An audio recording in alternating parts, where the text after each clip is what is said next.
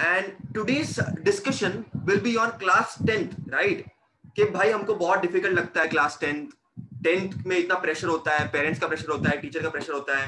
अच्छे मार्क्स नहीं आए तो अच्छे कॉलेज नहीं मिलेगी, है ना? रिलेटिव्स का प्रेशर होता है, सब जन प्रेशर देते हैं. तो let me tell certain things now दुनिया वाले कितने प्रेशर दे? अब कितना प्रेशर लेना है वो आप पे डिपेंड करता है. अब ये सब बातें तो तुम सुन सुन के पक चुके होंगे। प्रेशर मत लो टेंशन मत लो, फिर भी टेंशन तो आ ही जाता है, बराबर के नहीं? So today I am to tell you certain things अगर वो आपके पास होगी, एक दो बातें है कुछ।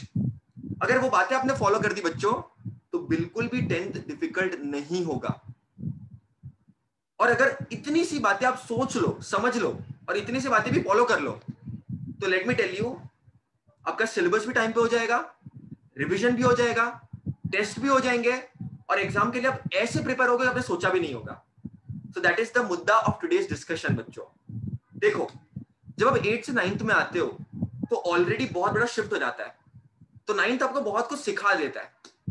लेकिन क्योंकि इस साल नाइन्थ ऑनलाइन था तो बहुत सारे बच्चों के बेसिक्स कच्चे रह गए, बहुत सारे बच्चों की प्रॉपर तरीके से पढ़ाई नहीं हुई पेपर लिखने की प्रैक्टिस नहीं हुई, है ना? इसीलिए टेंथ में थोड़ी प्रैक्टिस की भी कमी है अभी, और थोड़ा सा जितना रिक्वायर्ड है उतना प्रैक्टिस तो हुआ ही नहीं है और बेसिक भी कच्चे है। तो आपको एक अलग अप्रोच यूज़ करना पड़ेगा इस साल के लिए। और अप्रोच बहुत सिंपल है।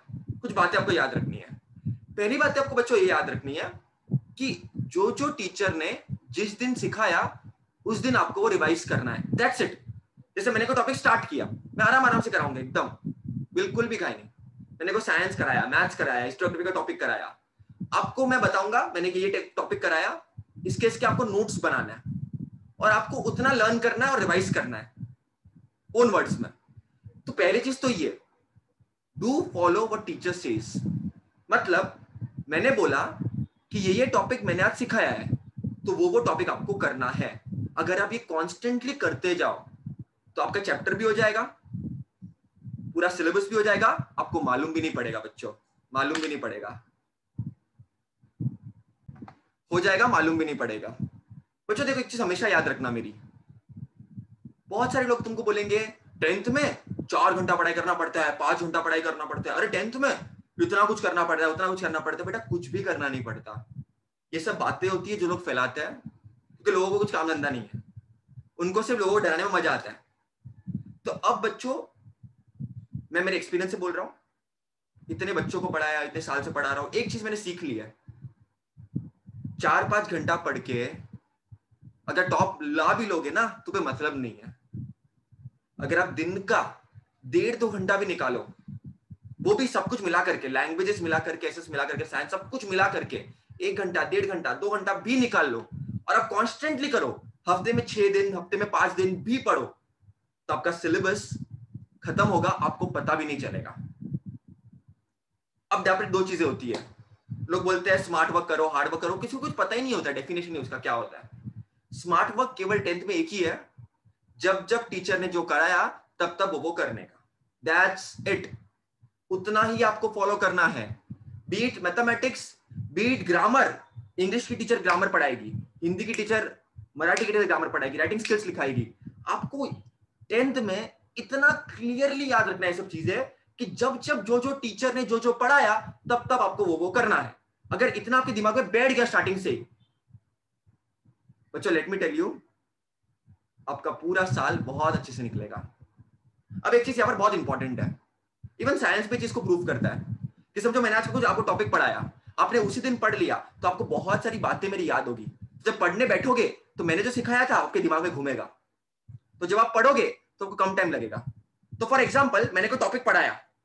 अब वो टॉपिक को पढ़ने के लिए फॉर एग्ज़ाम्पल आपको पाँच मिनट, दस मिनट, पंद्रह मिनट लग रहे हैं। कोई डेफिनेशन है। लेकिन जिस दिन मैंने सिखाया, आपने उसी दिन पढ़ा तो दो तीन मिनट भी नहीं लगेंगे बच्चों। दो से तीन मिनट भी नहीं लगेंगे। क्यों नहीं लगेंगे? क्योंकि आपके दिमाग में वो फ्रेश है। आपको वो समझा है। आपने उसको रिलेट किया है। And this will help to save your time this will help to reduce the stress it will help to reduce the pressure and overall बच्चों, अगर आपका टाइम पे सिलेबस हो बहुत ज़्यादा। तो मार्क्स भी अच्छे आएँगे और आगे का सब कुछ अच्छा ही होगा बच्चों। तो this is called positivity bringing positivity एक और चीज़ बच्चों टेंथ में मैं आपको बताऊँगा क्या चैप्टर्स है, क्या है, कैसा है everything in detail I talk about don't worry but more important is revision I make sure बच्चों कि मतलब whatever ways okay in whatever ways आपने टॉपिक पढ़ा, आप नए चैप्टर पे जाए। लेकिन पहले का चैप्टर आपको भूलना नहीं है बेटा, उसको रिवाइज करना है बार बार this is very important that's the importance of giving orals giving return test coming back to the topic again for example मैंने कोई चैप्टर पढ़ाया, तुमने वो पढ़ लिया। फिर तुम मैं नेक्स्ट चैप्टर में गया तो नेक्स्ट चैप्टर पढ़ लिया। मैंने थर्ड चैप्टर पढ़ाया अपना थर्ड चैप्टर पढ़ लिया। लेकिन आप पहले के भूल गए, क्योंकि हमने रिवाइज ही नहीं किया। So the most important thing in tenth standard is revision very important it's not even in tenth अब इलेवेंथ में जाओ ट्वेल्थ में जाओ नाइन्थ में थे revision is very important be it writing skills be it grammar be it history geography now history geography something जिससे बच्चों को बहुत परेशान करता है। क्यों? लर्निंग होती है सर बाद में हमारा लर्निंग होता है। स्टार्टिंग से कर लो ना। डे वन से जब टीचर करवाता है, तब कर लेने का। अगर आप डे वन से बच्चों सिस्टमेटिकली रेगुलरली काम करोगे तो डिफ़िकल्ट नहीं होगा। बच्चे पता गलती क्या करते हैं? बच्चे जब फ़र्स्ट टाइम पढ़ने बैठते हैं, तभी सोचते मेरा सब कुछ लर्न हो जाएगा। ऐसा नहीं होता है बेटा। There is a strategy of learning for example आपको मैंने कोई हिस्ट्री का टॉपिक पढ़ाया। जिस दिन मैंने वो टॉपिक पढ़ाया, आपको टेक्स्ट बुक रीड करनी है। या आपको क्वेश्चन आंसर्स को रीडिंग करना है। जो भी क्वेश्चन आंसर आपको मैंने मार्किंग दी, या आपको जो भी क्वेश्चन आंसर आपके पास मार्किंग है, आपने रीडिंग किया। ठीक है? अब रीडिंग करने के बाद, बच्चा पार्टी, आपको उसको खुद को एक्सप्लेन करना है। You have to teach your खुद को सिखाना है वो। और डे वन में, जब आप कभी सिखाओ खुद को, पढ़ने बैठो, कभी आपको लर्न नहीं करना है वो। आपको वो इस तरह से याद करना है, जैसे आपको ओन वर्ड्स में आप किसी को समझा रहे हो। फिर जब सेकंड टाइम पे थर्ड टाइम पे जब लर्न करने बैठोगे, तब उसको थोड़ा थोड़ा याद करने की ट्राई करने का। वो भी ओन वर्ड्स में ओन वर्ड्स में। रट्टा मारने जाओगे तो वो चैप्टर तो याद रह जाएगा, लेकिन सेकंड थर्ड फोर्थ जब करोगे तो पहले का भूल जाओगे। इसीलिए बच्चों, आपको मैं स्ट्रैटेजी बताऊँगा तभी भी, जब मैं सिखाऊँगा कि ये चीज़ को आपको ऐसे एक्सप्लेन करना है, इस तरह से आपको रिवाइज करना है इवन साइंस भी इवन मैथ्स भी। जब आप मैथमेटिक्स करो बच्चों when you do mathematics you have to आपको खुद को सिखाना है। You have to teach yourself जब तक खुद को सिखाओगे, तब तक वो चीज़ें पक्की होगी। The best way of learning is teaching जब आप मैथ्स कर रहे हो तो step minus b plus of minus b square two है अच्छा मैंने इसका पुट कर दिया, इसको मैंने ये कर दिया। आपको खुद से बोलना है, खुद को बोलना है। स्टेप बाय स्टेप ओरली खुद से। और जब वो होगा बच्चों, जब आप वो कर लोगे तो याद रखना, आपकी पढ़ाई बहुत सिंपल हो जाएगी। तो यही इंस्ट्रक्शन है बच्चों। और कुछ नहीं जानना। इतने घंटे पढ़ाई करना है, ये करना है, वो करना है। अरे, कुछ ज़रूरत ही नहीं है। सिस्टमेटिकली रेगुलरली जो टीचर ने सिखाया, उतना आपको याद करना है। रिविजन करना है प्रॉपरली प्रॉपरली टेस्ट देना है और सिंसियर होना है बच्चों। टीचर को ट्रस्ट करना है। आपने अगर कोई टीचर आपको कुछ बता रहा है तो आपको सुनना है, समझना है, उसको ट्रस्ट करना है। बाकी टीचर पे छोड़ देने का। ठीक है? This is very important even last to last year इस साल तो एग्ज़ाम हुई नहीं हुई नहीं। लास्ट लास्ट ईयर सब स्टूडेंट्स को 95 percentage 93 what is the secret secret is only one regular dedication and थोड़ा बहुत इंटेलिजेंस इंटेलिजेंस भी कैसा? कि भाई सर ने बोला तो करना है। ये इंटेलिजेंस चाहिए। दैट्स इट दैट्स इट भैया, लेकिन हमका नाइन्थ में अच्छे मार्क्स नहीं आए। नाइन्थ में अच्छे से पढ़ाई नहीं हुआ। अभी क्या करें हम लोग? जो हो गया, वो हो गया। ना फोकस ऑन द प्रेजेंट कि मेरे पास टेंथ स्टैंडर्ड है। साइंस सब्जेक्ट है। मैथ सब्जेक्ट है। हिस्ट्री जोग्राफी सब्जेक्ट है। इंग्लिश हिंदी मराठी है। ना फोकस ऑन दैट ये टॉपिक मैं इस दिन खत्म करूँगा, ये सब्जेक्ट इस टाइम में खत्म करूँगा। एक एक को टाई करो एक एक को पकड़ो और एक एक को खत्म करो। That's it nothing more complicated so बच्चों if you look at tenth standard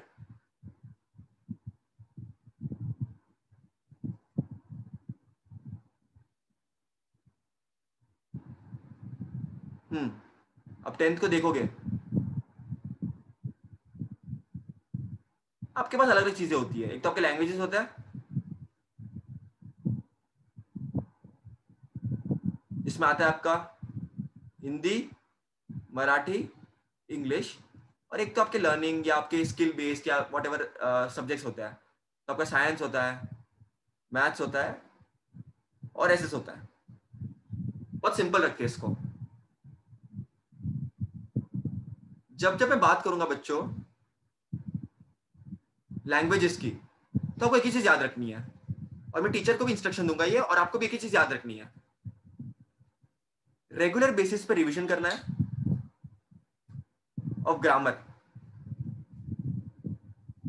writing skills के पैटर्न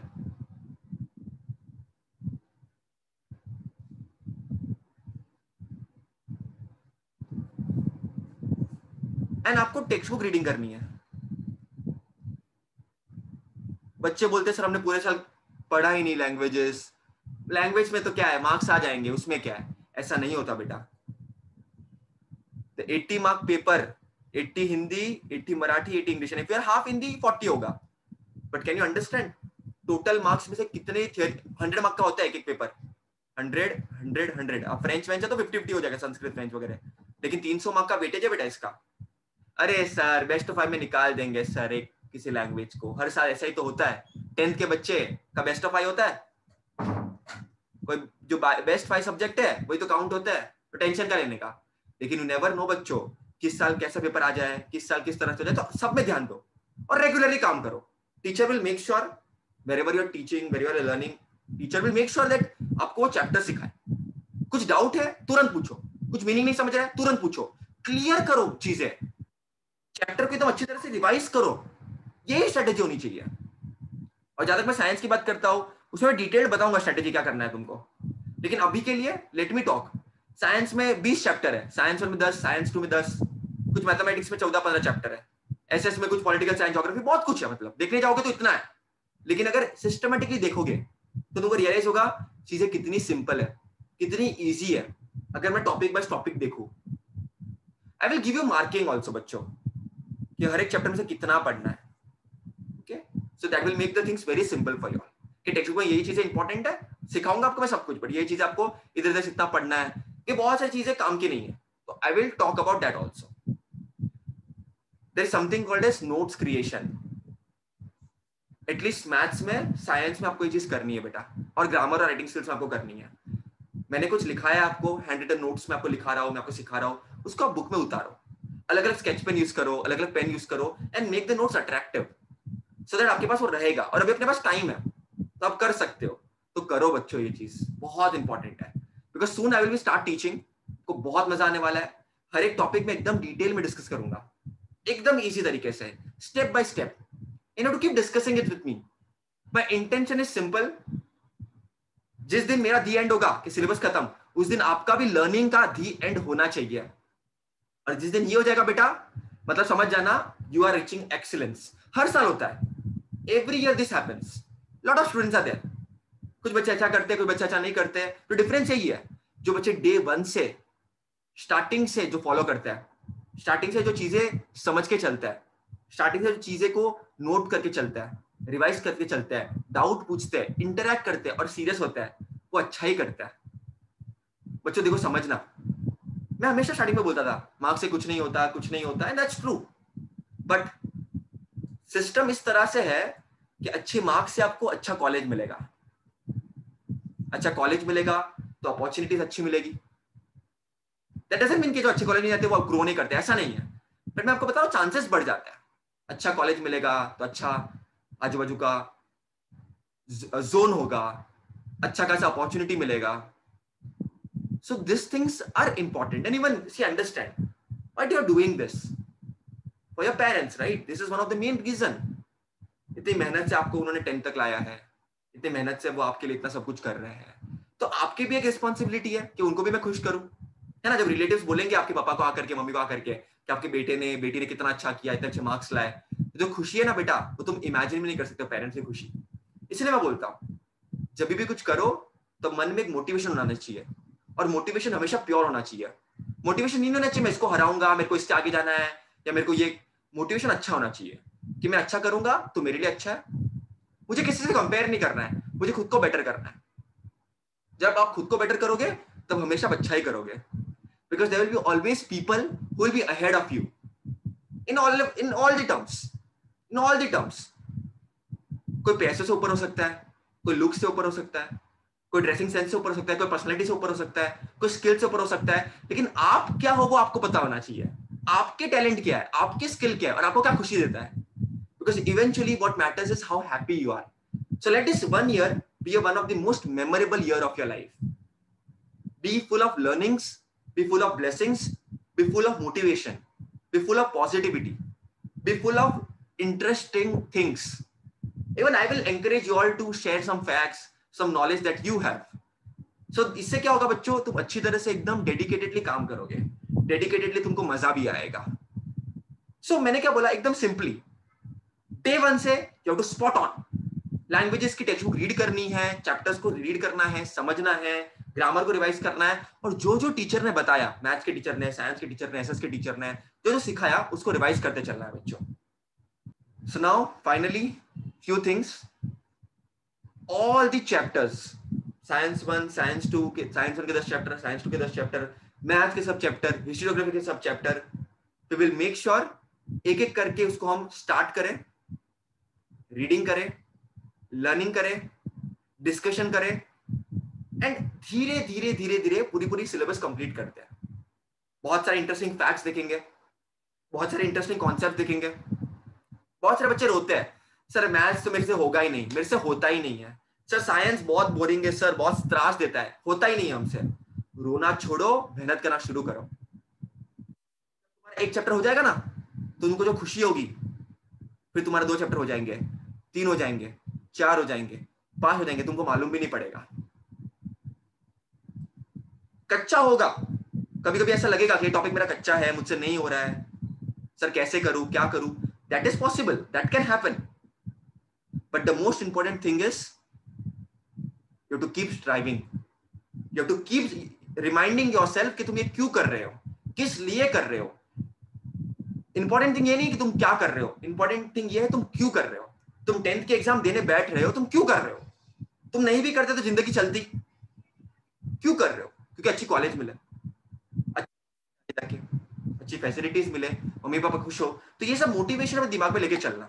बट सबसे बड़ा मोटिवेशन होना चाहिए तुम्हारा मोटिवेशन देखो चीज़ हमेशा मेरी याद रखना।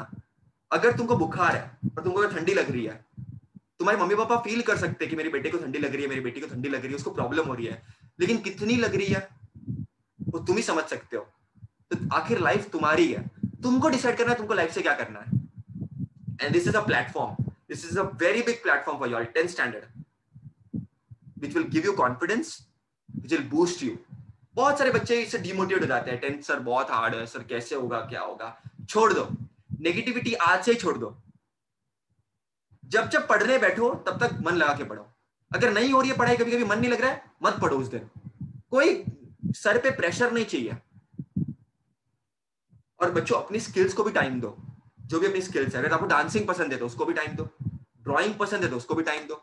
आपको गेम खेलना अच्छा लगता है तो आधा घंटा, एक घंटा उसको भी दो। किसने ना बोला है? लेकिन आपकी प्रायोरिटी सेट करो। Priority is a very important concept आपके लिए क्या इंपॉर्टेंट है? जब आप रात को सोते हो तो कौन सी चीज़ आपके दिमाग में आनी चाहिए और सुबह उठते हो तो क्यों उठ रहे हो? वो इंपॉर्टेंट है। जैसे मैं रात को सोता हूँ तो मैं सोचता हूँ कल क्या पढ़ाऊँगा? कल कितना पढ़ना है? नोट्स कैसे बच्चों के लिए अच्छे बनाने और बच्चों को कैसे और अच्छी तरह से पढ़ाना है? तो ये मेरा एक प्रायोरिटी होना चाहिए।